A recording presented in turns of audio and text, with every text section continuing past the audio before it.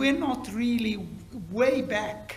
If you look at it uh, in terms of uh, uh, the progress the rest of the world have made, we're not far behind. When you think that all this so-called democracy, all this liberation, all this independence is only 20, 30 years old at most. You know, there's very little difference. There was a very little difference between England and many places in Africa in the 60s. I lived in England, and I know, I know what I'm talking about. There was very little difference. However, the more doors you open for people to have opportunity, for more people to be respected on an individual basis, the more adoration exists between within the members of the family, within, within the members of the community. This continuous xenophobia everywhere, you know, I live in Cape Town, South Africa, it's very xenophobic. I come to Kenya, Nairobi, it's xenophobic, you know. There is plenty, there is enough for all of us. But we must respect the individual for what the individual is and not respect where they come from.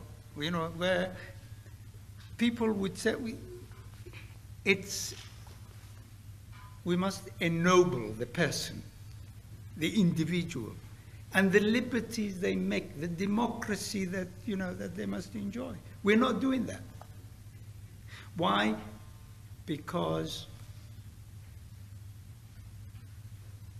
our traditions, our traditions do not have enough room for change. We can change our trousers, we can change our, the clothes that we wear. We may have the most sophisticated iPod, iPhone, i this and i that. But we haven't progressed in the last two, three hundred years. We're still where we were 200 years ago.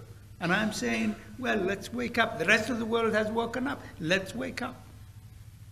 Feminism is a contemporary thing for some of us. 1974, if you were in New York or in London or, or in, uh, you know, uh, Zurich, you heard the same stories. What happened to us? Why, where were we when they were doing this? Where were we?